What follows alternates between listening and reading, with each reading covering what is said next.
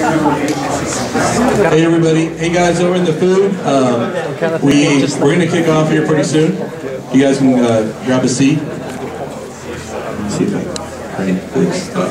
Hello. All right, cool. Um, how's everybody here tonight? Good? All right, a couple of important things. Uh, okay, the restrooms are through the back, uh, out by the, the registration tables, and then there's uh, women and men. Okay, so. Uh, and the other thing is, uh, we still have probably a lot of beer and some food left, so you can hang out. Yeah.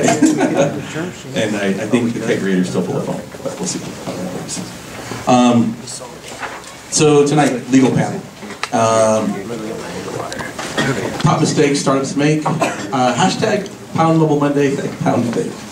But, um, so uh, a couple of stuff about myself. I'm Mario Tapia, president of Mobile Monday. So I've been doing community uh, for about 15 years now, so since 1999, organizing uh, mobile developers and entrepreneurs um, as an expensive hobby. Uh, so, uh, uh, so tonight's agenda is like I'll do the welcome. We have our handsome, handsome Ross. Well, but Rock will be uh, giving some slides about uh, Arent Fox, um, and then we'll go to our panel discussion. And I want the panel to be engaging. Uh, we have a very animated uh, moderator here tonight.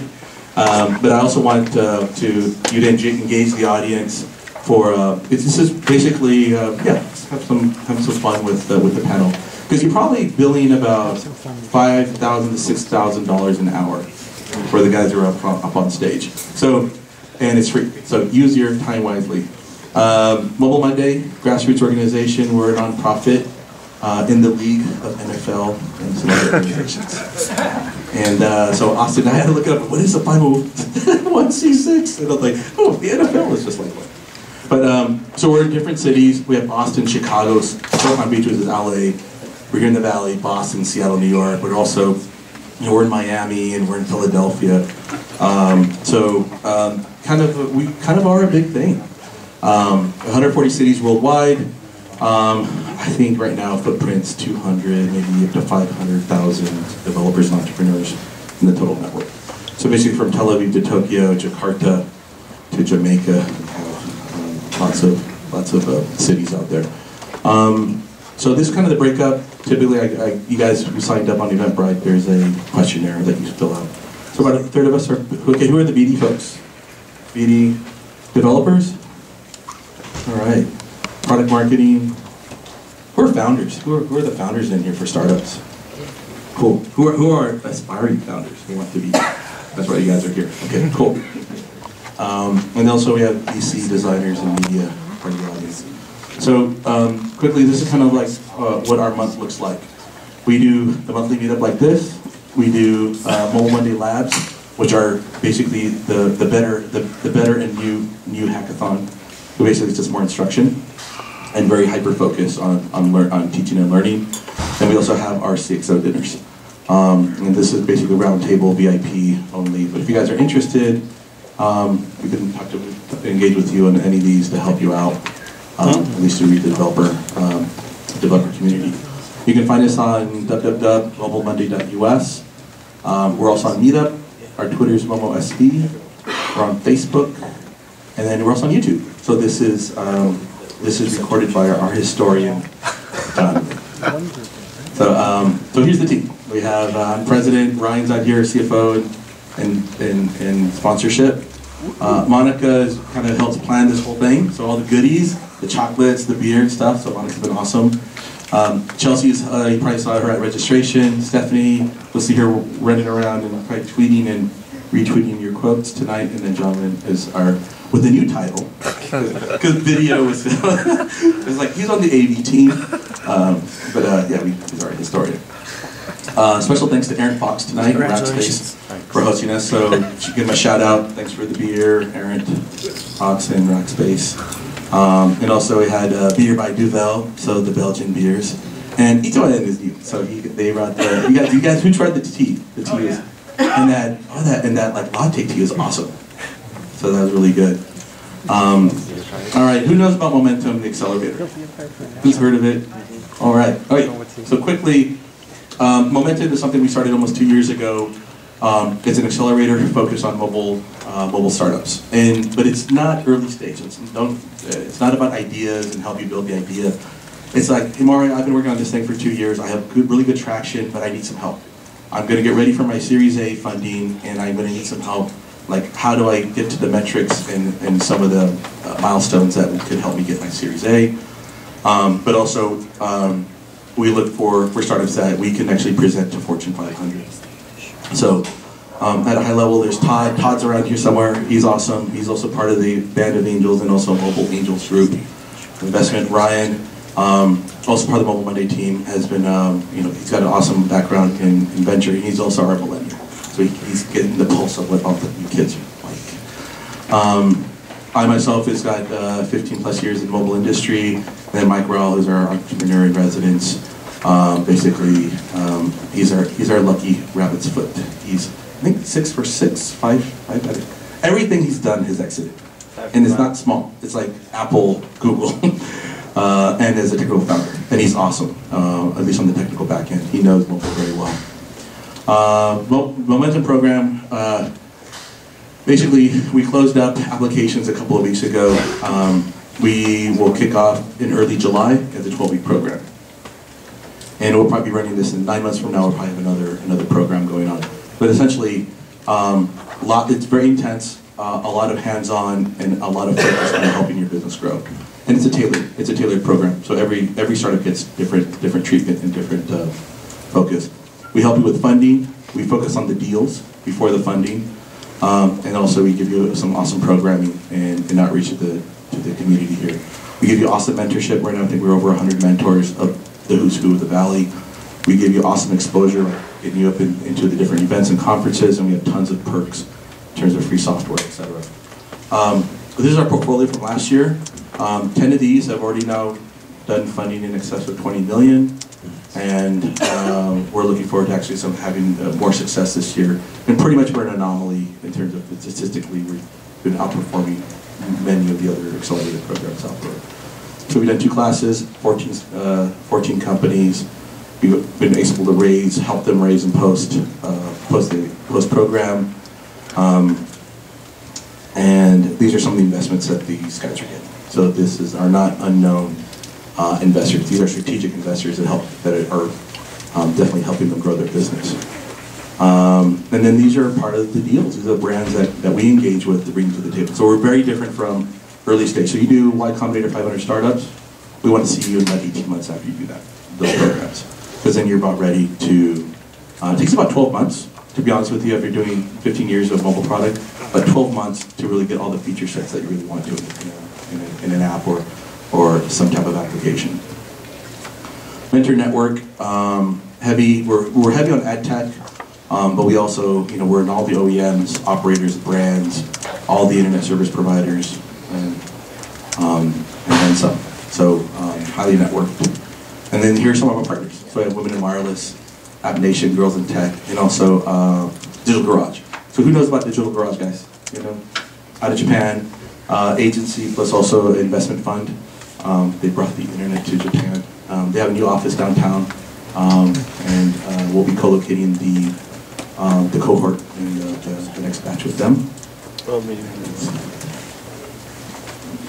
Okay, and then this is kind of what we look for on the startups. Awesome team, mobile focused, having a live product. I think a lot of the applicants kind of miss that. They said, oh, I have an idea, I have some thoughts. No, you have to have a live product.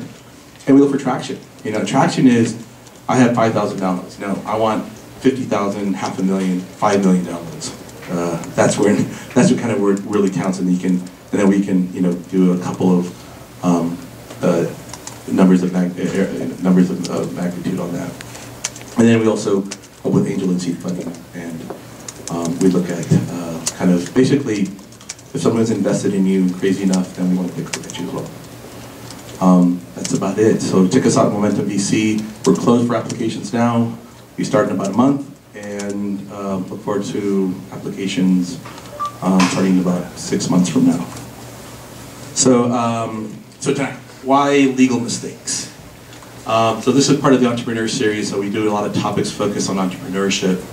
Um, and, and basically a lot of a lot of people who are aspiring entrepreneurs, you kind of need to hear the story. This is one of my favorite topics that we do almost every year. Um, and we focus on like how to start your new company, to hear you some awesome, really horrible stories that startups make. Uh, and that's also like Stump a Lawyer Night. So who brought a, who brought in a contractor agreement with them today? Anybody in like, hey, can you help me here? All right, because we had that happen last time. I thought it was so funny. I was like, here, I'll show you to you. but uh, um, but uh, Stump a Lawyer Night. So basically, I want interaction. So like you can. Um, I don't consider it as, as uh, official counseling, but maybe some opinions. Um, and and uh, so yeah, I basically make it very interactive. This is a learning session for tonight. Um, and we have a quick announcement from Harry. Harry, where are you? So Harry flew in all the way from Germany. Come on up. uh, and he's uh, so next month there is a wearable tech conference. So Harry's been doing wearable stuff when it wasn't sexy. So come on, Harry, tell us a bit more. Great. Thanks, Mario. Hi, good evening, everybody. So it's great to be here. Wearables, indeed, uh, is, is a topic which is hanging around already since six, seven, eight years uh, with clothes and uh, some of the early topics uh, with shoes and the likes, but now it's really hype. I suppose some of the founders here are also involved in wearables. Anybody has some, some topics in wearables? Didn't just know? Okay, that's not a lot. Maybe you have to to uh, increase your, your program, acceleration program, including the wearables on that side. Who has heard about wearable technologies? Okay, wearable technologies group is uh, the business platform basically where I've been joining. Uh, we're driving that since several years, as Mario was saying. We are based in Germany. I have an office recently also in San Francisco. We have be obviously as well. We are running a global innovation program since several years trying to identify the most innovative companies on the street in the various sectors, healthcare, fitness, sports, and the likes. And um, having now in beginning of July, 8th of 9th of July, here in San Francisco, our third event, our third conference, uh, the Wearable Technologies Conference Fort Mason. Fantastic place, we always enjoy to be there. Last year there was the America's Cup passing by, it was great uh, when we had our, our event there. So anybody who is interested in this topic, uh, I'd like to invite you to join, to come there. There's some information out there in the table, there's special discounts for startups anyhow. Uh, if you have questions, just ask Mario. We're looking forward to seeing maybe the next uh, Fitbits, Jawbones, uh, Recon instruments and the likes uh, coming out of the valley, as well as we do that also seeing coming out from Asia and from other parts of the world. It's definitely a mega trend, it's not just a hype, it's overhyped now, obviously. There's so much rumors and so much discussion around that, but there's such a fundamental substance in, in wearable technologies in combination with mobile phones, with smartphones, to drive, to change behavior actually, to live healthier, to be connected with the smart environment. And there's so many solutions that are possible. So anybody who has uh, some kind of solution already in a certain maturity level, prototypes, uh, and some, uh, maybe already some, some first uh, uh, trials in the field uh, is welcome to participate. The program is called Innovation World Cup. We have currently the Soccer World Cup. I heard USA won today, is that right? Yeah. yeah. Was it? Yes. Because I saw just Germany this morning. Yeah, we, we had a good match this morning. so when is Germany and US? US, US team? No, we don't talk about it. Okay. Anyhow, we got, just for your knowledge, we got the rights to call our global innovation program Innovation World Cup for wearable technologies, for IoT. So anybody who has some good ideas is welcome to join there. Looking forward to seeing maybe some of you beginning of July in Fort Mason. Thanks very much, Mario. Thank you. Thanks, Eric. You know, um, you know, I'll do a follow up, and you guys will have the, the discount code um, for next month. Let's see.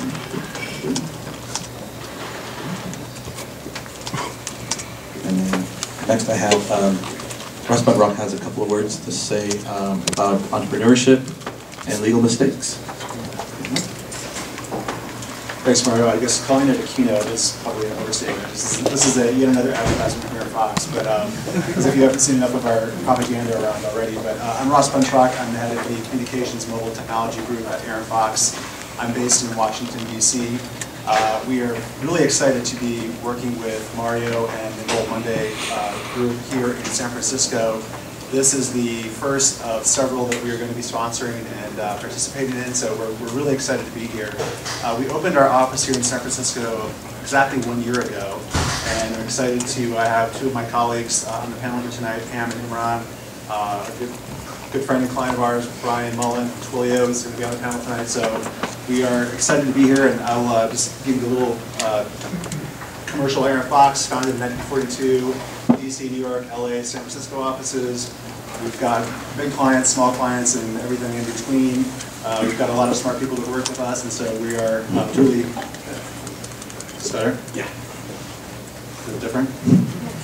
Um, anyway, we've got every practice group under the sun, so any legal problem you might have, we can help you with. Uh, we have an emerging companies practice, so we work with startups. Uh, we give all sorts of advice on formation, structuring, funding, uh, intellectual property advice, a lot of the topics that we're going to be talking about on our panel here tonight. Uh, we need to lobby the government, we can help you with that. So you need to real estate uh, help to uh, get your new space opened up, we can help you with that. Uh, this is just a little bit of a description, and all this stuff is on the handout that is on your chair, but this is a little bit about what my group does. We've been representing disruptive technology companies for a long time, I, myself personally for the last 20 years. Uh, people from uh, Twilio to free conferencing to a lot of other companies that heard of. And then just to, um, and, and want to plug our, my IP colleagues here, again, one of the top practice groups in the country in terms of intellectual property, and uh, can help you protect your intellectual property, uh, represent you if you get involved in litigation, and deal with any other issue that may arise in, in that realm. Uh, I'm going to run through my, my, I don't have top 10 legal mistakes, but the top four that I, that I have encountered personally uh, is basically people not knowing when to hire or engage with a lawyer. Um, some people, you're, you're sitting around, you're, you're talking to your founders, you've got ideas, you've got intellectual property that you have developed, that you're developing, you're talking about who owns what, what percentage, and uh, it's, it's, you never really know like when it's the right time. And so I'm hoping to address this issue in terms of when it's the right time to consult an attorney. This is the one that is uh, probably nearest and dearest to my heart, and that is uh, not really having a grasp on the regulatory risks that might be facing your company. And this is an issue that is kind of near and dear to my heart because I've been in Washington for 20 years, and people here in Silicon Valley and San Francisco who are doing all these amazing things and developing new technologies, new apps, aren't thinking about the, the people in Washington and maybe the people in Sacramento who've got jurisdiction potentially over pieces of your business, technologies that you're using, particularly if you're using, uh, if you're going to be kind of leveraging consumer data. And so the FTC has gotten very active, uh, the California AG's office has gotten very active in terms of consumer data issues, and so that's another uh, area that I want to focus on a little bit tonight. Uh, the third thing that I think is the biggest problem that I've seen uh, among my clients is failing to adopt and, most importantly, adhere to good privacy policies and good terms of use. A lot of people cut corners when they're getting started, and I've seen more companies that I can care to talk about basically cut and paste a privacy policy and a terms of use. They have no idea what it says. And when you get in trouble, the way you get in trouble with privacy policies in terms of use is by not doing or what you say you're going to do. There, there's really no requirement that you actually have one, but if you have one, you've got to do what you say you're going to do. So who, who's done that already in this room? Cut and paste the. yes, I, I did it myself. So. Take it down. Uh, and this is the, the last one. This is, you know, number one, uh, entering into bad agreements. This comes in, in really two major areas. Uh, in dealing with your employees or your contractors, not properly classifying people, not getting uh, people with uh, the right non-competes, the right non-solicits, not having the, the proper protections for yourselves in terms of the development of intellectual property, and then vendor agreements. I mean, this seems very basic, but I've seen people sign deals for major pieces of software, major systems, without having any really idea about what's going to happen if the deal goes wrong. And so that's the way you need to approach every deal is assume that everything is going to, the shit's going to hit the fan, you're going to be in litigation, then what? So those are the big areas that. Um, so you mean I can't hire my best friend to do some coding and he's like, hey dude, I need some help with the database thing. and he just and he writes like five lines of code and then I become a billionaire, you know, exit, and then I get sued. Exactly, because you know, he works for Google, his full-time job, and you know, Google is going to claim ownership of that, and so yeah, you get into all sorts of those issues. So anyway, we'll, we'll get into all the fun stuff uh, that goes along with, with some of these things uh, um, as we uh, get the rest of the panel going. Okay. I got, thank you very much, and I'll look forward to engaging with you as we uh, go on tonight. Cool, thanks Ross. Hi guys, let's, uh, let's uh, I'll, um, I'd like to introduce our moderator tonight. That's Greg Ovale, but known as Ovi, and he is in a stealth company, which is really awesome though. He told me what it is. So, uh, but I'll introduce Greg, and Greg, I guess you can uh, uh, bring the panel up and have us have a seat. Thanks, Mario. Thanks, Uh, well, actually, why don't you guys all come up?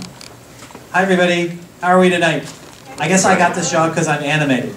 Have a seat, and we'll, for, for, once you sit down, we'll kind of introduce you. We're going to go by first names tonight, to, and we're going to keep things going. We, we- uh, Mario and I did a legal one before, and it was super fun because it was interactive. Everybody got free legal advice. And when you ask a question, always say, "Hey, I have a friend who has a company that kind of screwed up, and here's what he did."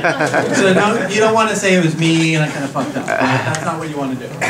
All right, so you guys, if you're scoring at home from on your right, Imran with Arent Fox, Yale with um, Legal Pal. Or. Or. Pal. Sorry, I'm No, sorry. changed our. I messed up already. I know. I'm, again, you scoring at home. That's 0 and 1 for me here. Here we go. Uh, Brian with Twilio. Ross, who just spoke. Pam with Arent Fox as well. I, IP expert, right? And Fred, who's standing in for somebody that's at the White House. Right? So, so one thing we want to find out is you guys. Um, I, we're going to have Q and A at the end so that you can ask for that free legal advice. But some topics of interest. So just raise your hand if these are interesting. We'll try and cover them, and, and we're going to have this as interactive as possible. So, convertible notes. Raise your hand if that's interesting. Okay. How about general term sheet terms, things like liquidation clauses? How about founder shares investing? How about getting rid of a founder? How about horror stories? All right. This looks pretty good. How about World Cup? Did you see the USA today?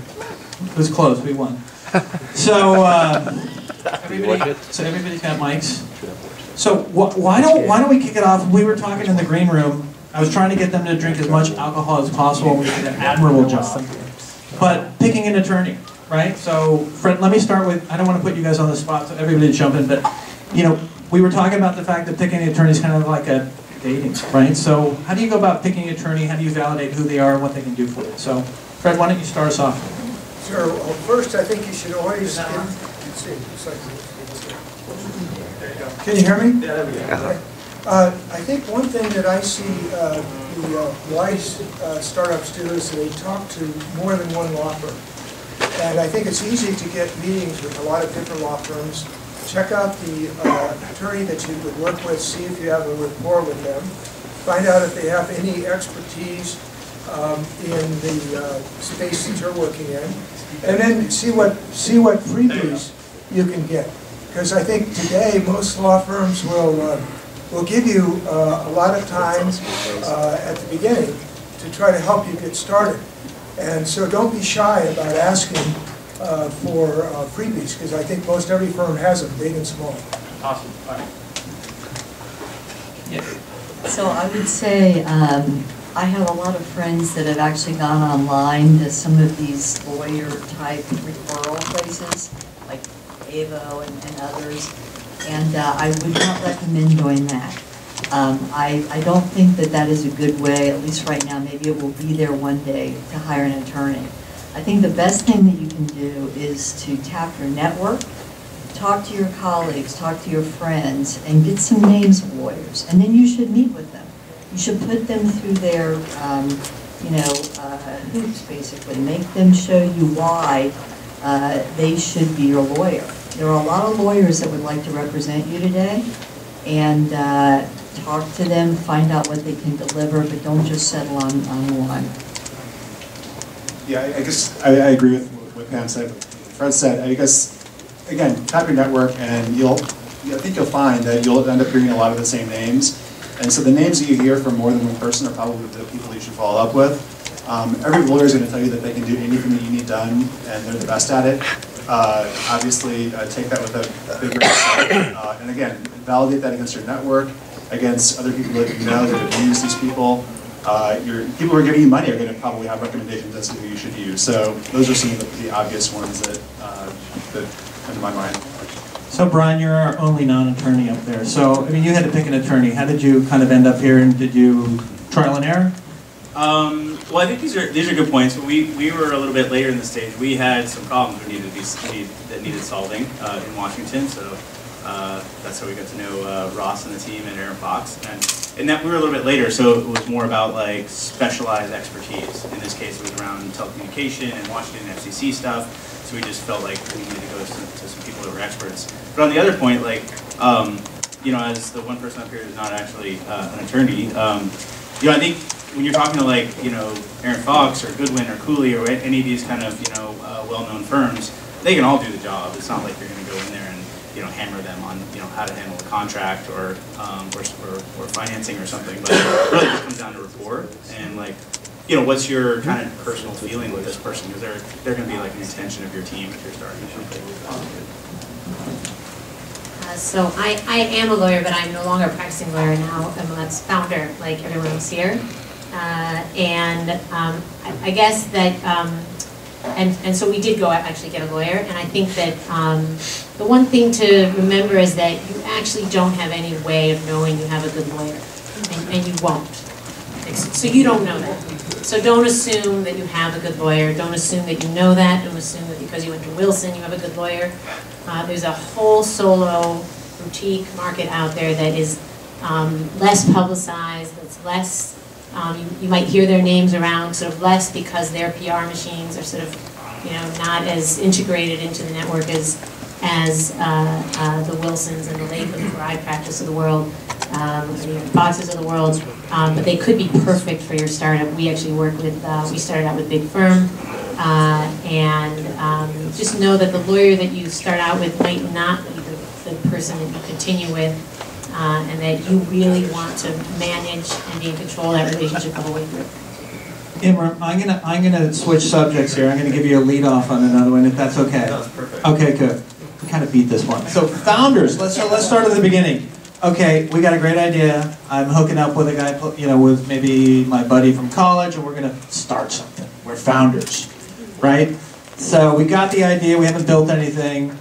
I think one of the points you talked about, Ross, is, you know, luring up earlier than later. So what should we do? Because we're gonna get to the part where we have to kind of divorce later. Because this seems to happen a fair amount early on, especially when nothing's figured out.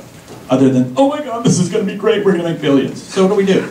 But it's, well, it's a, it's a really interesting question, because I just dealt with that this morning, actually. I'm working with a, um, a startup company, which is, um, there's a solo owner and founder, but he's partnering with somebody who's in the manufacturing business, and he's more of the idea guy, and he wants to know whether this other individual should be a co-inventor with them. Um, well, before you even broach a subject like that, you got, you got to really think about, well, do you want this person, uh, do you want to have a long-term business relationship with this person before you decide that you're going to join him on a, on a patent application? Or do you, do you want to give him shares in your company? Uh, what, what's the, what's the relationship going to look like five, ten years down the road? Um, and so, you know, you, you really got to be careful when you're, when you're looking at both your, your IP, you're looking at your, your stock distribution, um, how you're going to options. And from the IP side, tell a patent lawyer, what I, what I tell clients is, well, look, there's a legal requirement that you actually have to be an inventor um, on the technology before it can be named as a patent. This, is, this isn't just a business decision. And if you get that wrong, then your patent can be invalidated years on down the line. So um, don't just award inventorship as if it's just, you know, stock options to employees at the company. Um, inventorship should be based on real contributions. And um, I don't know if I answered your question, but. No, that's a good one. I was just, does anybody have a founder question right now? I mean, it's founder related, that's germane to what we're talking about? Yeah? The young lady just stated that she was an attorney. Bill, Bill Gates, yeah, yeah, Bill Gates was graduated as an attorney, but yet he didn't hire an attorney for a while. His father was an Well, attorney. well, My answer relates to the question, which is, we, um, so Bill Gates is a trained lawyer and, and didn't hire a lawyer for a long time. Uh, we actually hired a lawyer because we had a founder issue. Uh, that's what brought us to an attorney. We were three. Uh, that my two co-founders were friends forever from high school. Um, very quickly, we learned um, uh, that the third co-founder was a raging lunatic. So it was easy. It was easy. An absolute raging lunatic. Uh, how many? I don't know how many people here have children, but you know, you might be perfectly happy married to somebody, and when when you have children, you really rethink whether or not that's the person you have children with. Having, creating a company is like having a baby. Ask yourself if you actually want to have a baby with this person, and not if you want to date them forever. Uh, and it was an app. I mean, I could I could take a whole hour telling you what a lunatic was. but Oh, please, let's go.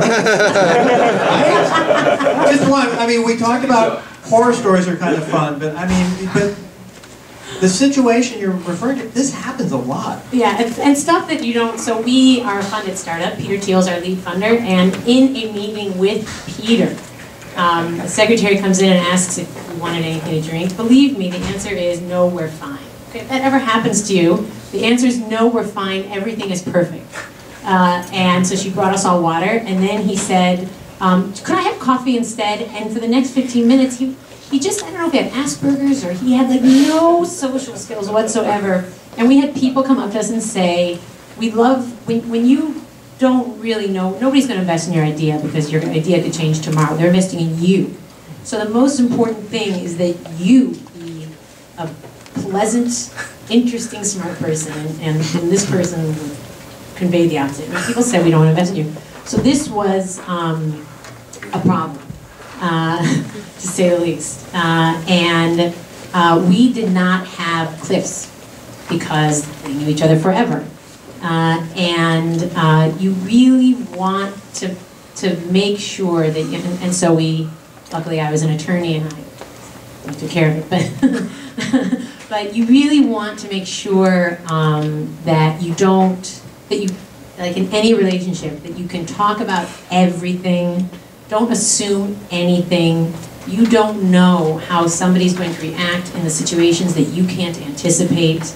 Um, and, and you need to be able to have this relationship. you know, your lawyer isn't going to be able to fix that for you. You need to be able to have a solid relationship. Uh, and if you're going to a lawyer to manage the relationship, there's, a, there's already a problem in the relationship. So, uh, actually, if you pass that down here, I want to ask the attorneys on this end. Um, okay, so we talked about Cliff, and let's go. I mean, if I'm a founder, does that mean I invest fully from day one? Am I investing over time? I mean, we'll, we'll get to the divorce part, but that's pretty interesting because I think some people don't understand the mechanics, especially if you get money from a Peter Thiel or an angel uh, or uh, institutional investment group. You don't own all your stock. So why don't, if you guys want to maybe kind of cover that a little bit, because I think setting the expectation of what the norm is, is good for everybody to understand. Because a lot of people, in my experience, don't know what is somewhat standard with respect to a four-year vesting schedule and cliff, and even with founders, it's a little different. But Yeah, uh, one thing on the last point, I did a, a startup myself, and one of the things I was going to uh, mention that you should think twice before you just start, do a startup with your friends.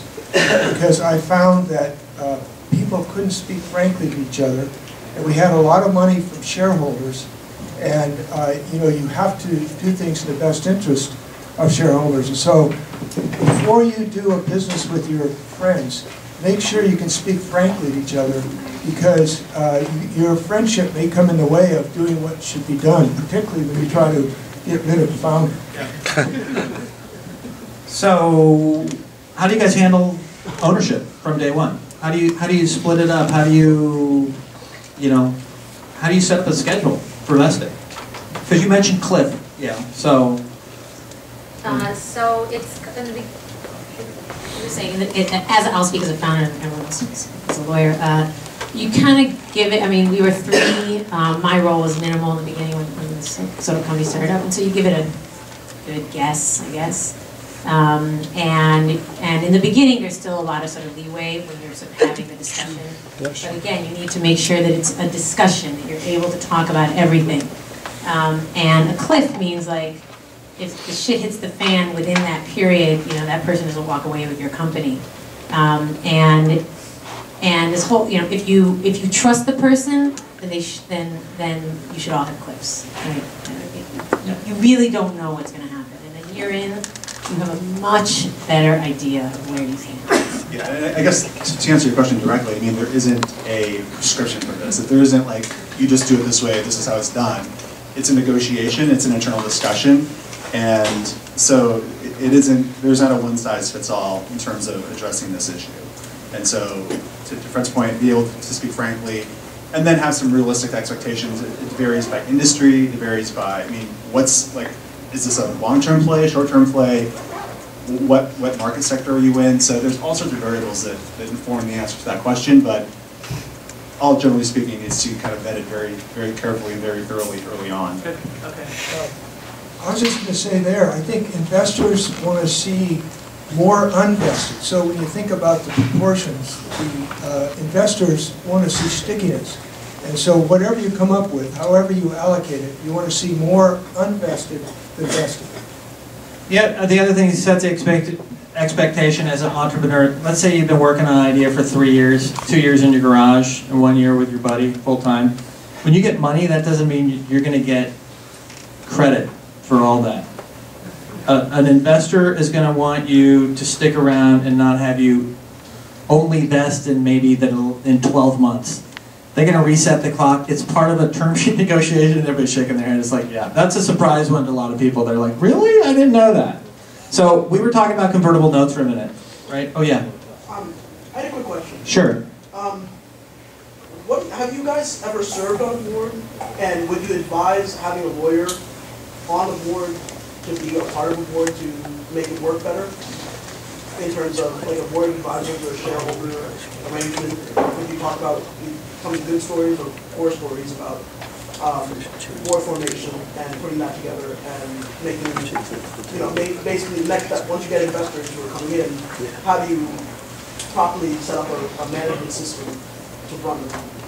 Can, can I, let me put some context on that. So it's going to depend on the stage of the company. So, I mean, if we kind of short track it, ear- ear- early stage, are you talking about early stage board of advisors or board of directors? Board of directors, board of So- advisors, whatever. So you typically don't need a board until you actually raise money and you have institutional investors. Hey, So, so let's just jump let me- ahead to that. In the back, just repeat the question that we get? Oh, I'm sorry, uh, Just, uh. Wade was asking, um, you know, with respect to kind of board of advisors or board of directors, is there a role for an attorney? Yeah, There typically is, but I'll let you guys kind of cover that. or if anybody has not had experience that. I Okay. just had a thought on uh, advisory boards. I actually was going to mention something about that a second ago. Um, You know, of course, uh, we're talking about defending yourself and kind of structuring your deal with a bunch of uh, attorneys, of course. Um, But one, one thing that uh, the kind of agreements either with co-founders and and also with your advisors early on do is like, it's really, they're, they're tools to, um, to align people's interests, right? So it's not necessarily about covering your ass in like the worst possible scenario. It's just about generally, it's more often about generally like aligning people so that they're thinking about the next 12 months and kind of, uh, you know, have a long-term goal that's aligned with yours.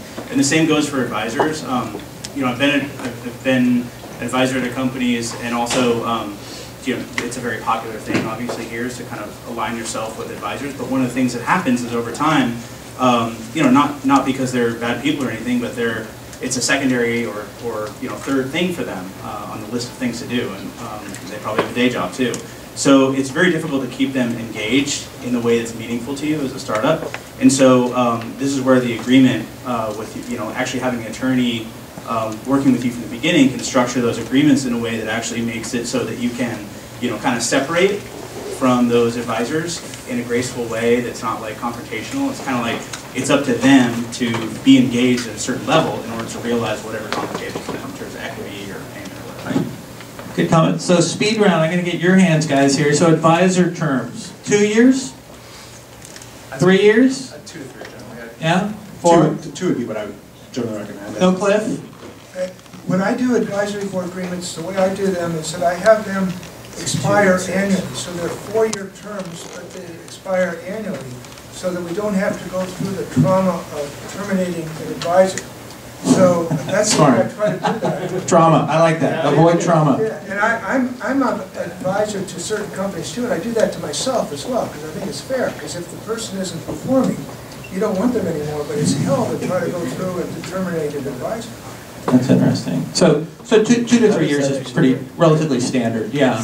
Actually, that's a novel approach, Fred, I think, um, you know, Can I just as a founder? Yeah. So Lots of people want to advise their company, but I think that we've only taken Yes, advice. the microphone thing here, We've only taken advisors who've actually given us advice, who've actually helped us. Um, so I'm not, I'm not rewarding somebody for what they might do. I'm, I'm rewarding them for what they've done. Uh, and that's who's our, on our advisory board. Um, people who, um, have gone the extra mile because that's their character, that's who they are. They, they really show that they're invested in the company. Uh, and we then reached out to them and asked them if they wanted to be on our advisory board because it felt fair, you know, to, to, to somehow formalize the relationship that they were, they already had. okay, right here in the giant hat, way to go. Hey, so I, on this topic, um, so I'm a sole founder and I have two advisors right now, and right now we, we haven't done anything formal, there's no agreement, but, but I'm also, um, I'm, I'm, I'm in the process of, uh, of, of, of also doing a round investment. Yep. So, um, so I'm gonna formalize sort of terms with my advisors and figure out what uh, points I should give them, how much. Yep. Any, any general advice there, half a point, quarter of a point, and Oh, it, actually, so it's a, it's a great question. Um, I- I'll just, before I hand it over to you guys, like advisor amounts can vary widely. Like tremendously. I mean, from somebody that helped you wrote your plan to introduce you to first, you know, investors that works with you daily, has industry contacts. You know, it can go anywhere from, you know, a quarter, a third of a point to four or five percent. That's on the high end extreme. I would not recommend that, but, you know, you guys, maybe we'll do, go ahead, Ross. No, I, I agree with exactly what you said. And again, it's one of these things that's all, it's all contextual. It's who, who are the two advisors? What have they done for you? It's like, you know, you had a really hot waitress and gave you great service, so you gave her a forty percent tip. You gave the okay waitress who kind of was fine, you know. I mean, that's, that's kind of like the way that you kind of figure these things out, honestly. Um, but there isn't any kind of prescription as to how, how it's, how it's going, but it's, it's all very kind of context and, and, you know, touch and feel. But make sure those shares vest. Yeah. Keep a vesting schedule. You don't want to give all of those shares outright, so make sure they vest. You also, you also want to make sure that they're tied to whatever it is you expect. So a lot of times, people have expectations that are not verbalized. When we talk about communication, one of the things that's really important is that is that if if you've given somebody something and you expect something in return, they probably have also a set of expectations. It's very important that those things be clear and then clear again um, so that they know why you're giving them the shares. Perhaps it's even sort of memorialized in writing, uh, so that if they don't meet those expectations, you have the recourse. you have recourse. Right here. Hi, um, first off, thank you, this is great to hear from experts. Um, so I've, uh, founded a company, and been working on it for like two and a half years or so. Um, I made a technical mistake, which I'm kind of going back and fixing in the process. You mean your friend founded a company? I'll hold on to it. That one, that friend? Yeah, yeah. Sorry. Me, myself, and I. Myself and I. Um, so I'm in the process of, of kind of renovating the technology in the, in this uh, same stan- sense. I'm kind of revisiting the legal structure, and I set it up as an, uh, an LLC just to have a structure. Uh, I think somebody recommended having a, a legal entity where you can kind of house everything and shield yourself. I'm now kind of at the point where I think it probably makes sense to probably move to, from, a- from an LLC to a, to a, probably an S corp or full corp. I guess my question is, is what kind of advice would you give on providing um, share schedules? I mean, should I establish, how, how many shares should I establish? And what is reasonable to expect in going forward on how I divvy those up? I mean, should I just set up like 100 million shares and just piece them out as I take on equity or investments over the next three, five, seven years, assuming it's successful? I forgot to preface the entire presentation with, we're not giving legal advice up here, and you are not our clients, and you can't sue me for malpractice. Um, So, That being said, and please sign the waiver on the way out. I'm understanding the foregoing, right? So again, I, and I want to kind of give you a substantive answer to your question, but at the same time, there are so many things that we need to understand to, to kind of give you an intelligent answer that would be at all helpful to you. Um, but yeah, you should give yourself enough stock to, and and it's, it's just you and the company in that, right? Yes, I've hired other people, but fully on a contract basis. Okay, and so, yeah, and you've got that all papered up, right? Anyway, so, in any event, I, there's, I did that. we should have an, an offline conversation about this, honestly. But There are so many nuances to, to answer that question, but you should give yourself enough stock so that you can, you should authorize enough shares so that you can, you know, bring on people, you can bring on funding, and do all the things you want to do to kind of get where you want to go. Is it best just to do that at like one fell swoop at the beginning and just put a huge amount and then just divvy it out over time or just constantly go back as, You can always amend it, and you can, you can always change these things as you go on, and, and, and to, the- to your question as to the, the, the entity type, it would probably uh, be a C corp that you would establish. Um, But yeah, it's, the- that kind of a decision isn't one that's gonna be like, I mean, it's something to think about, obviously, and that, we'd have to talk about what your plans are in terms of down the road and where you are, you're two or three years into it. So, anyway, there's, you can authorize a, a big chunk of stock, and if, if your needs change in that regard, or if some event occurs where you need more, you can always amend and, and change your, your underlying documentation. Five million shares wouldn't be unreasonable now. No. No, that'd be, I mean, that's the ballpark you'd be talking about. And again, you know, proper counsel can advise you as to, you know, setting up a Delaware C corp, what needs to be done, and then setting up the capital structure with respect to the common stock. I So think there's a, uh, there's a range of normalcy here, and you just want to be within that range of normalcy. You know, there's a, uh, a range, and, and uh, so that when investors, bankers, or others look at you, they'll say, hey, these people know what they're doing. actually, that is a, that is a great point, and when we were like that, it's gotta be in a normal range, because that is the biggest red flag ever.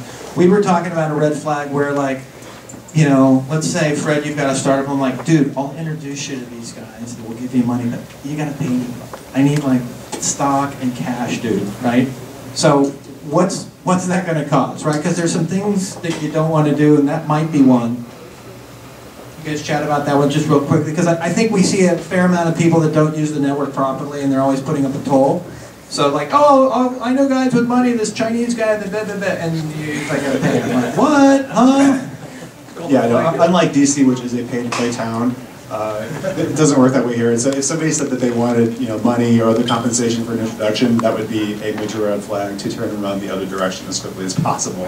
Um, That's, that, that's just, I don't- that's just not really done.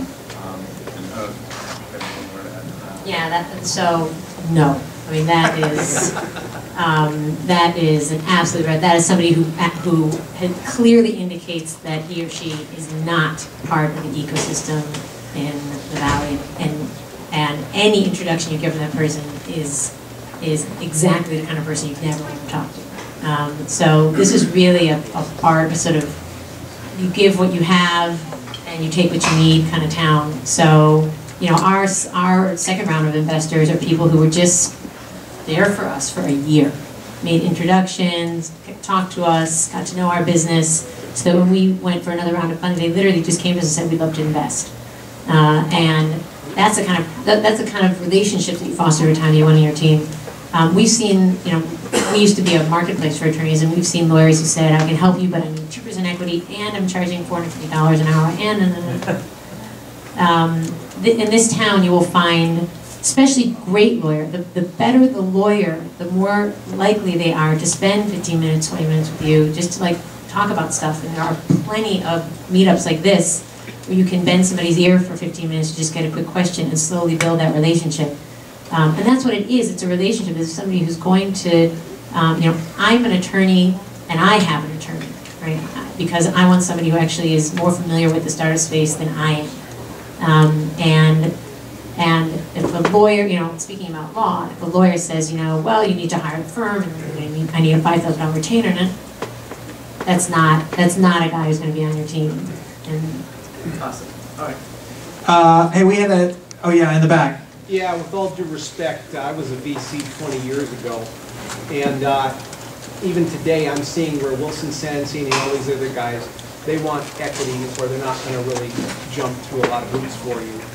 So I, I- from my experience, you know, that's not the case. The really good lawyers have gotten to that position because they want to charge for that, for that level. And I have one other question, which is, Well, hold on, let me just say, so you're saying that good attorneys want equity? I mean, they charge and, and make, yeah, because they built themselves up to a certain level. yeah, they can, but I, I think the options are available where you don't have to give your attorney equity. Well, there's, I mean, there's, there's probably instances where they do, but I would say, I don't know, talking to the panel. there's yeah. two, there's two kind of worlds. There's the world of I'm a single person or a, or a couple of co-founders looking to kind of get things started, then it's probably like Yael mentioned, it's like much more of a kind of collaborative thing. When you're talking about getting an attorney before your fundraise, you're going to talk to one of the big firms, like, it's expected. I mean, of course, they're, they're gonna come in for some sort of, you know, compensation or equity. Like, you're, you're not gonna go through a Series A without having that in place, probably. Equity is still there, it. I mean, I'm just saying. like, It hap, it, it it can happen It now. can happen. It can happen. Yeah, and I agree with you. But you had a second question, real quick? Well, I was just going to ask you, what's the current thinking on which states to incorporate in? Because 20 years ago, um, you incorporated in in California because California was investor-friendly. You didn't incorporate in Nevada because investors wouldn't come to you if you did. Yep. Where is it going today? Because the states are starting to raise their fees. Yeah, a good you question. wanna- So You don't want to, you don't want to. Yeah. you want to incorporate it in five states. So, so, let's go through this one quickly. Which state to incorporate? I mean, most, Del- Delaware is C corp, right? So, yeah, Delaware, there's really no reason not to incorporate in Delaware. I mean, I, I, I probably would, I mean, there's certain states that you wouldn't want to be in, but there would be no reason why you would not do Delaware unless you had some other, some tax issue, uh, depending on the residency of the founders, I mean. What's that? It's not true anymore. Well, you got, I mean, you still have to pay, wherever you're doing business, you have to pay those fees, but the, the state of incorporation, I, I can't think of a reason why you wouldn't do Delaware. I mean, the Delaware is just totally standard. Hey, did we have any convertible note questions? Any? Yeah, oh, was that a convertible note question? We're not. You said there's a few states you would not. Well, I, I think the short answer though, because we want to move on to another one, is go to Delaware, right? Go to, everybody with that, go to Delaware. Go to Delaware. Go to Delaware. I I still do California corporations, uh, so I don't think you're out of the range of normalcy again if you do that. But as you go through rounds of venture capital, eventually your venture capitalists are going to want you to reincorporate in Delaware. Okay. I think Delaware wins in the tie. Mean, just, just- to point out that, looking at it from a litigation perspective, knowing, knowing that if you incorporate in a state, you're gonna, you're gonna be subject to jurisdiction there, and so if you're in the business of IP, or you're being threatened with IP litigation, having your, um, corporate state in Delaware will subject you to litigation in a plaintiff-friendly venue such as Delaware. Did, um, did somebody else have a question? No? We're good? We're good? You guys, what did we not cover that we wanted to, that we talked about that was super fun and exciting? It's crazy exciting. Horror stories. Huh? Right? Who's got a, Pam, you've been kind of quiet. Do you have a good horror story for us? Something IP related maybe? Horrific, I've bloody, no, good- nobody died? I'm a litigator, so I have really good um, Actually, when we're talking about the founder, uh, that, that issue, I mean, I'm, I'm not one that knows about all the corporate, you know, necessities and what you need to do to, to incorporate, but I'm the one that when the thing went down, you know, to hell in a handbasket, the, the clients come to me. And I had this one, speaking of war stories, really ugly situation down in um, uh, San Mateo Superior Court, where you had founders that made it very unclear in their agreement um, who had the rights to certain shares, um, how things would happen if someone down the road wasn't performing at a level, you know, that they were all anticipating at the beginning. And uh, this, this, uh, this group of founders has been torn apart by this very horrible litigation where um, one party ended up having a lot more money so they could fund it and the other two didn't. So I would say you really need to be crystal clear, as clear as you can be in that agreement, uh, what the various responsibilities are, and- and don't just think about where you are at that particular time. You need to be thinking about what could happen, you know, a year down the road.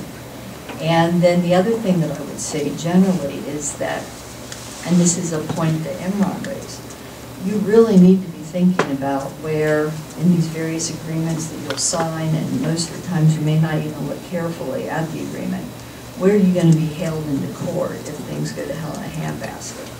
And, you know, you really don't want to be litigating in, you know, perhaps Delaware. Uh, At least the judges are really good there. Uh, You get pulled into uh, Florida, where I've had clients that have been that has been a nightmare for them, and they've completely hometown.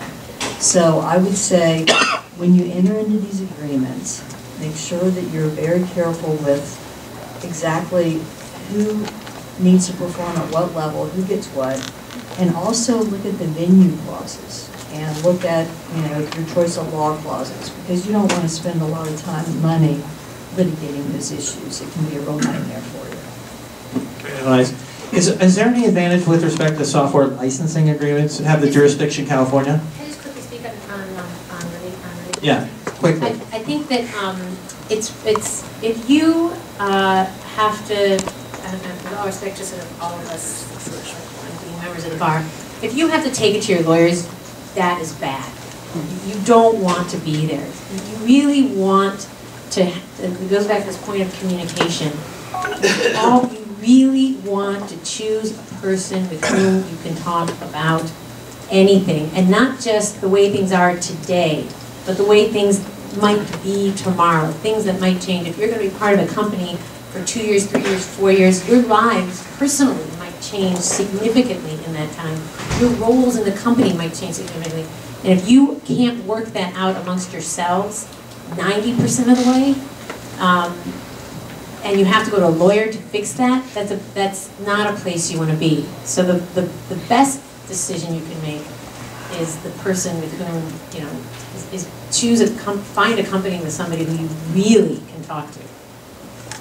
I just I just have one comment, partial horror story. If you want to hear the rest of it, you can meet me for a beer after. But um, I've been through uh, a pretty high-profile bankruptcy, first a Chapter 11, then a Chapter 7, and so a lot of the discussion just, you know, it seems seems and sounds very ominous. Um, and one thing that, that I kind of, and, and a lot of my coworkers, uh, you know, came out of this whole experience with was um, this feeling that like the worst that could have possibly happened happened, and everything's okay, and everything, you know, everybody got jobs after, and people continued on, life went on. It wasn't that, it wasn't that, uh, it was like very traumatic going through it, but um, everything worked out. So uh, just a positive note there. It's, e- it's easy to make, it, it's easy to think that all the repercussions from all these things you're either going to do legally or not do um, are going to be terrible, and uh, it's, it's probably not that terrible.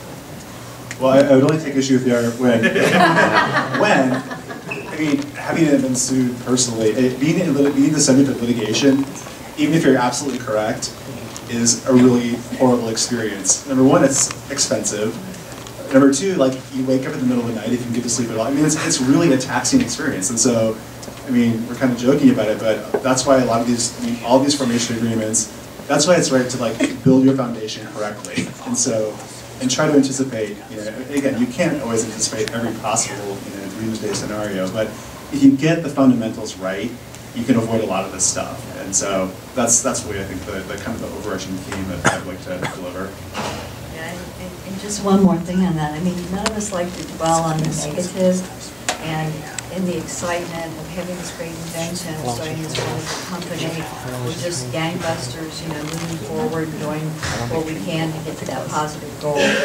But if you're gonna invest in, in any money in a lawyer, okay, this is a really good place to really think through, you know, what these various documents, from founding documents to you know, documents with your customers, contracts, you know, that type of thing, what they're gonna say. Because the small print really does matter. It really does. And this is not just something that you should, you know, slough off but it's not part of what your vision is. You need, the devil's in the details.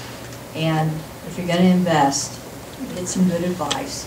Talk through with your lawyer, you know, issues that you may see coming up down the pike and draw those clauses up in a way that's really favorable to you. I mean, you should all have your own stock contracts, your own form contracts that you use for your vendors, customers, other companies that you work with. And those are the contracts you should be proposing. And you want to be working off your contract, which of course is slanted to be the most favorable to you. And not something that's like 25 million pages long, but something that they'll look at and they'll accept and they'll sign. Because you're hoping that they actually are not going to pay attention to the details. And then you'll end up being in a better position. So be careful with that. It really does matter. We got time about one or two questions. So again, remember, free law advice. Going, yeah, no, just hypothetical. Uh, By the way, we'll we'll get, one, one last thing. So I was deposed once for lit, litigation matter. I'm looking at Pam here for a minute. And they had to teach me, because if you ask me what time is it, I'd go, yeah, 7:30. The answer would be, yes, I know what time it is. Right? It's so weird. Hopefully you guys will never get to that. So we have two questions over here. answer is I Yeah. I don't recall. It- It's like uh, in Wolf of Wall Street. Have you guys seen that lately? It's like, it's a great movie. Yeah? Yeah, I work in the, with food startups and food tech startups. Yeah. And that space, particularly in San Francisco, is very collaborative and, you know, it seems like everybody's helping. Is there any legal pitfalls? I mean, it seems like, it- you know, I'm always promoting, but at the same time, you might be like opening yourself up for maybe some legal issues. That's the guy with the stealth startup. But Well, have wait, to wait, wait, how do you wait. promote yourself and But when you're collaborating, I mean, are you collaborating like, you, that's a great guy, they have fresh eggs, and this guy's got meat tech. uh, So what, what do you, I guess, I, I I need to understand kind of what's, what's, what are you fearful that you might be crossing the line on? Just helping that way? Well, trade secrets are a good thing. I mean, if you've got some like, you know, the new, you know, recipe, Coke for recipe, recipe for Coke or whatever. I mean, I- there's like, I don't know what you're talking about in terms of how the collaboration. Dude, this thing cures cancer. If you say something like that, you're probably gonna set yourself up for some potential trouble. There was a Kickstarter thing on there that supposedly you could like wave it over food and it's gonna tell you what counts. It's like, come on, right? So, I think, I mean, I, so. well, I think the advice here is like what my grandmother used to say, which is before you say something it belongs to you and after you say it, it belongs to the world. So if there's not something you don't want the world to know, don't say it. Good. Brian, did you have something? What? No, it's true. All right. Don't say it. See, Grandmas are smart, right? Everybody knew that, right? Grandmas are smart, yeah. So yeah, so Pam, so you said the, the devil's in the detail. So like, you know, I'm a, I'm a founder of a company and I have so much I'm already doing with trying to build product and get customers and marketing and sales and so I don't really have a lot of time to spend with doing terms of service and, and agreements and things like that. So, but also don't have a lot of capital because I'm all bootstrapped so far. So how do you sort of balance this, right? Like, of course these things are important, these documents are important, and I'm, I'm signing a few a week now and I just, I don't have time. I, I just don't have time to deal with this. So it's like, how do you balance that? Like, you- I, I want to get away, but yeah, I can't afford the rates yet, so. Then maybe find a lawyer that is, is hungry and that is able to work with you. And that will cut you some slack in the short term and because they're excited about the long-term relationship. And it doesn't mean necessarily that that actually is a lawyer at a solo proprietorship. I mean, that could be a larger law firm. It could be our law firm, okay? It depends on what your technology is. So don't underestimate your potential ability to be able to get a competent lawyer, especially in this market post-2008, that might be willing to sit down with you. And as we were talking about earlier, and I totally agree, if someone's not going to sit down with you and talk to you for 15 or 20 minutes about something generally, you know, they're probably not that great of a lawyer anyway. And, uh, you know, you can get some free advice, but on the other hand, having been the lawyer that actually has spent a lot of time giving out, uh, you know, advice and guidance in the hopes of long-term relationships, you know, that is something that uh, I think that if somebody sits down and they are uh, good with you, they give you good advice, you should probably reward them when, you know, you actually can start paying a lot more money. So I would just say think of that too. And In addition to things like this, I mean, we do, uh, our firm does a thing with, there's a, it's a different industry segment, but it's mobile health. We do an office hours thing at the Mobile Health Conference in DC every December where companies who are, startups who are attending that conference can apply to meet with us. We do some issue spotting, sit down with them for an hour. And there's programs like that all over the place where you can get actually like real legal advice, not just somebody kind of spitballing with you, you know, over a beer, but actually like looking at your documents, making some recommendations, and then kind of getting you pointed in the right direction. And another thing that a lot of firms do, and, and we entertain these arrangements as well, is again deferred compensation, where we'll give you X thousand dollars of, of time, and you know at some funding event, or you get funded, then know then pay us. Otherwise, we're just kind of taking the risk, and we're maybe going to be writing that off. So there's things like that you can do. So I think, I was just gonna say one thing, You- and you can talk, don't worry. We're gonna get to you. We're gonna get to you. Is, no, is that lawyers qualify companies just as much as VCs do, in the sense, especially if you're gonna defer fees. Mm-hmm. Because if they believe in it, right, if they believe in it, and maybe somebody doesn't know, and they took the extra time, like you said, to listen and understand, which sometimes you don't get in a quick twenty-minute pitch, they'll defer potentially a lot because they're backing it. They're putting their name on it with the partnership, and they've had some successes before doing that. So it doesn't always happen, but there's can be good things about that. So sorry, yeah. I, I know exactly where you are. I think sometimes lawyers don't understand how little time you have to think about what they obsess over, what, what we as lawyers obsess over. So I don't, when I became the client, I didn't have two minutes to talk to my lawyer because I had, I had to do everything, half of which I'd never even done before. Right, this is really overwhelming.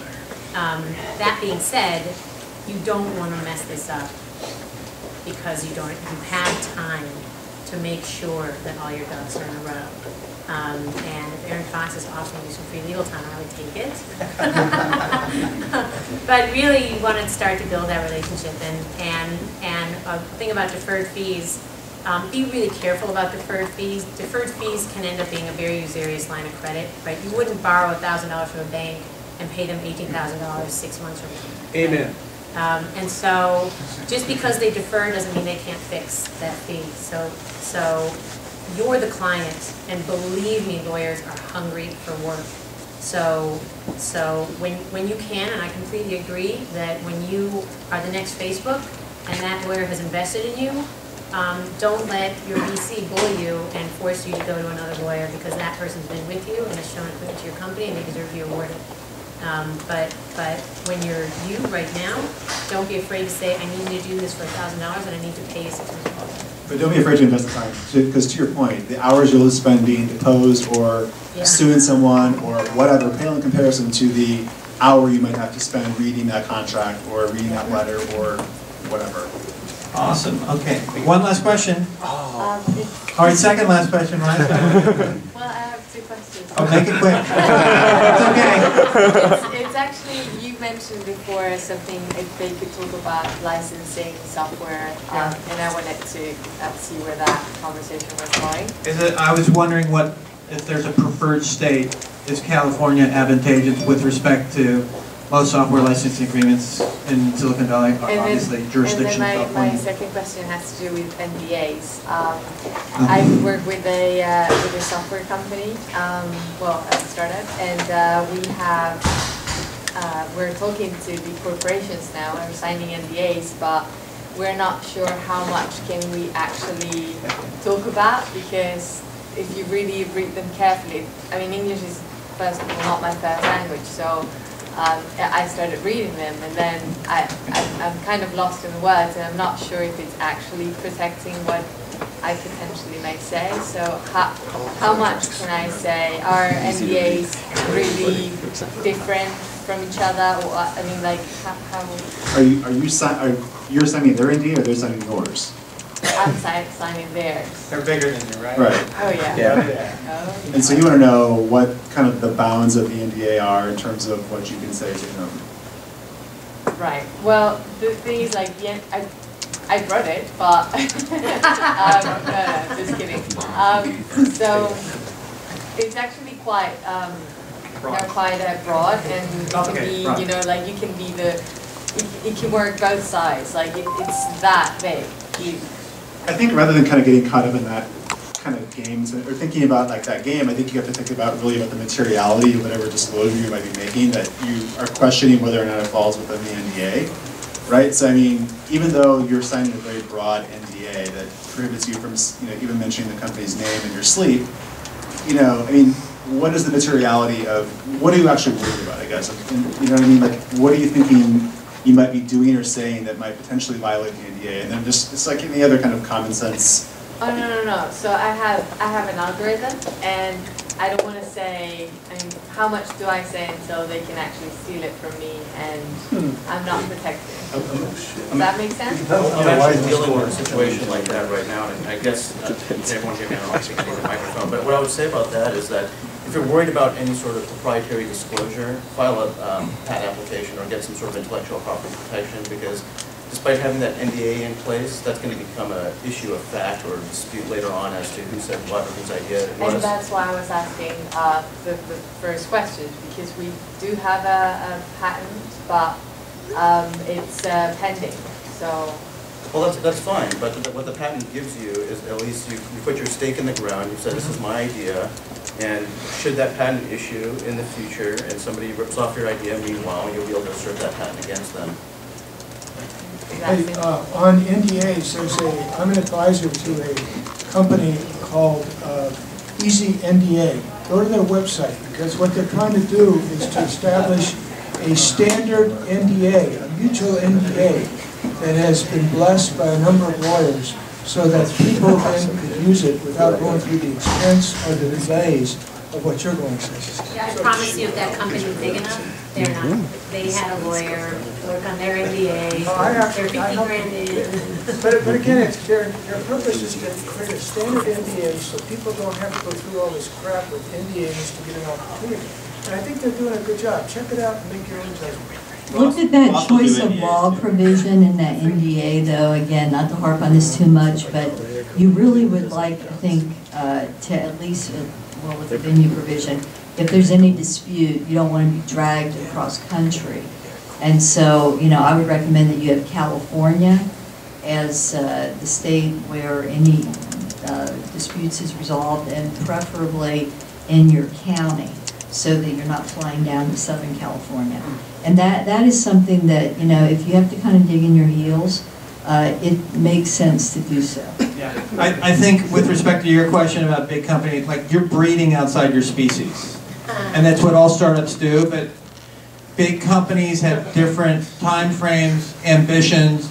If you're not funded, many of them try and take advantage of you. I mean, there's no secret about it. It's, it's, can be, so I think the IP and the patent filing is smart. The question is, what do you want out of it? Are you want funding from them? You want them to buy you? I mean, so you've got to ask yourself that. But I think in addition to having good legal advice, there's some strategic business decisions that you need to be wary about. There's some, there's great opportunities that happen working with big companies. Sometimes they can be fossil-like slow, but they're amazing. So, you know, hopefully you have some good business advisors too, as opposed, and good legal advisors. I think it's a combination. I mean, you can set yourself up for some really awkward issues. So if we keep all you guys busy, though, right? Oh, So, okay, oh, non-compete. Mara had a question. Mar, non- non-compete, which is? Pied Piper. So Are non, are non-competes, are non-competes legal here in different states? What's the big kind of? I just, well, California, they're generally frowned upon. Yep. So, non-competes. Most other states, there, uh, some, some states have statutory tests as to what's an acceptable length of time that you can be locked up with a non-compete. Uh, I just did one actually uh, in Minnesota where they were trying to lock the person up for three years, and under Minnesota law, you can't do that. So, um, non-competes are generally, in most other places, you know, allowed. Um, but as long as the uh, time is, the time and the location, like, you know, within 200 miles within North America would be too big. So I mean, you have to just make sure that it's reasonable in most other places. Non-competes in California are enforceable in the case of an acquisition. So if your company gets bought, which is a big deal, you're going to probably get forced, if you're not working for them, you're going to get forced to sign a non-compete. Those are enforceable in California. Is that part of the acquisition? I mean, Yeah. Those those are Yeah. part the golden handcuffs? Yes, exactly. That's the quick. Golden State. Awesome. Well, you guys, oh, Ryan, dude, sorry. Please, finish strong for us. Strong. I don't know how much. I don't know if this is gonna be strong enough. How much? Uh, how much diligence is too much as an angel investor, and uh, Never enough. and how much can you get away with And how much do you need to actually do? Right. What's that on the angel investor side? As the angel investor, Yeah. how much diligence is too much? Like how much how much diligence is too much for the startup, especially since they're out of time and they can't really do much. Um, and how much is not enough? So like, what's the right? What's the fair amount? What are what are we talking here? In terms of like pages of like Oh, pages. of of of Let, let number me do one more answer as an entrepreneur, and then, I mean, literally, like, if you're gonna invest in my company, you're gonna need to know my team, my background, my Of course, business I get right? all that. I mean, I'm talking about like you're looking for the because when you get to the Series A or A P, even a P and L and a cap table and a, and a, uh, uh, incorporation documents and. An I mean, angel, it's an What, angel. what Do else? you have P and L? I mean, You- you're an angel. Well, you put a P and L together, kind of like zero, zero, zero, negative, negative, negative. I mean, I mean, but it's easy, You're but you gonna put it look at together. your IP under a microscope. That's key. Yeah, I- but I think an angel venture is like, if you get have rounds stuff of angel filed, They've done no diligence. Dude, Ryan, that's the other thing. I think use your gut. You're an entrepreneur. Some investors, you guys waste your time. Understand that. They don't get your business. They want to be educated. They're going to be a tool. I'm not saying everybody. There's just a small class of these guys. What kind of tool? No, a time tool. In the sense that they, you know, guys that get you in your business, they'll get right away. And I think I've never seen a deal where people all of a sudden have this ambivalence, then they have this epiphany when they're going through, you know, the ninth ream of documents. They go, oh my God, this thing's amazing. So first of all, you don't know what their other investments are. So they might be investing in a company that does something very similar. And the only reason they took a meeting with you is because they're curious about what else is happening in the space. And you think they're interested in investing, and so you expose all your documents to them. They're not, you're, you're, Well, you're they a wouldn't do startup. that. You're a startup, you're like, you're like a dreamer. Tomorrow your dream could change, you could pivot, you could, God, you know, they're investing in you as a person. And you as a person are, you know, your team or your, you know, what you know about the space or whatever. So we've done two rounds of investment with some really serious investors. Believe me, they invested in the team and what they thought we could figure out. And you didn't get a checklist, three pages long. It shouldn't be that long. Delete. No. They're not serious. They have a, they have a competing product they're curious about. it. Yeah, well, that's a good question to ask them. I mean, especially if it's a, if it's a, an institutional VC, you can see. There's a great YouTube video, it's a Nikola Tesla pitching VCs, have you guys seen it? And they're like, who is, who is that guy? He goes, oh, that's Brad, he's our EIR. He's, he's gonna be, um, yeah, he's starting a company in your space. And the guy goes, ooh, that's not good.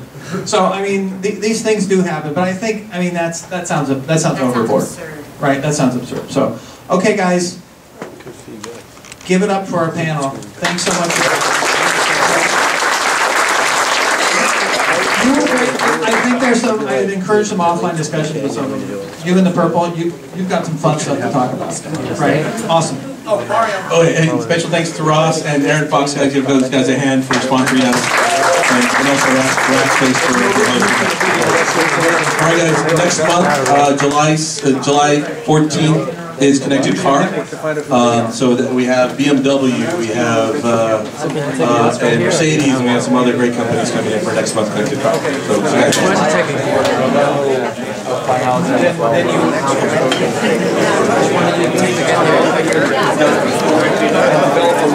You know,